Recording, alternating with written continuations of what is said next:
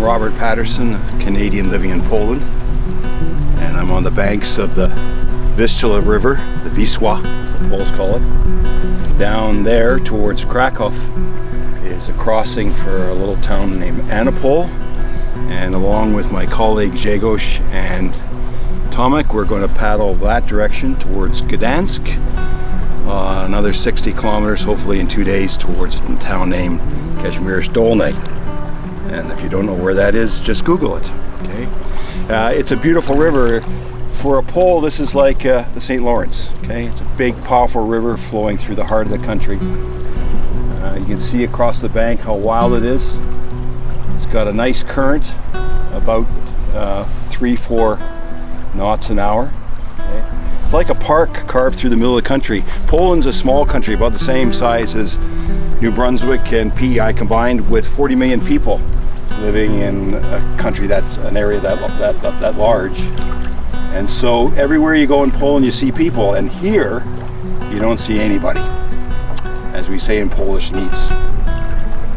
And part of what we're doing here today in this trip, uh, besides this two-day trip, is doing something with this guy here. Uh, this is a paddle I just bought from the Red Tail Paddle Company in Campbellford, Ontario. Okay. And we've got a, quite a few red tails with us. We've also got some uh, gray owls, but we won't talk about that. But this is a very special paddle. It's called a Bellski, and uh, when I first heard the name, I really related to it because ski, when you add ski to a name, that uh, has a Polish connotation. And it's handmade by John Bell, the owner of Red Tail Paddles, and it's a very poignant thing. He's named it after his son. His son name was Adam, and Adam passed away prematurely at age 30 in 2011. So John named this paddle after him because he called his son Adam Bellski, son of Bell, and he's dedicated this paddle, this very special paddle, to uh, his son.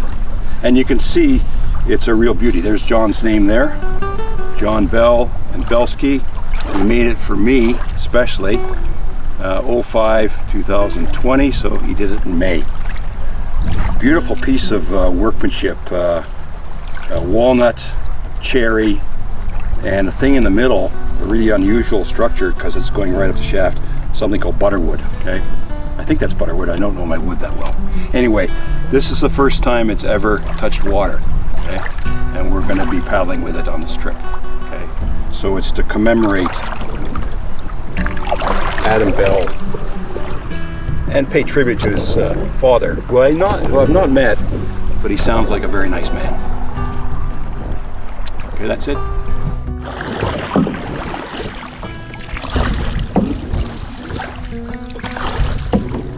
It's a beautiful paddle. It really feels nice in my hands.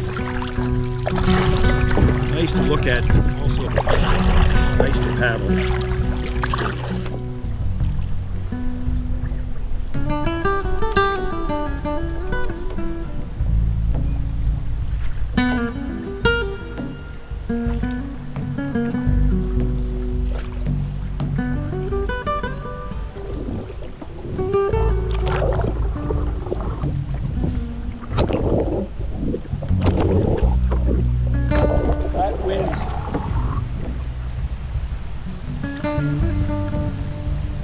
baby.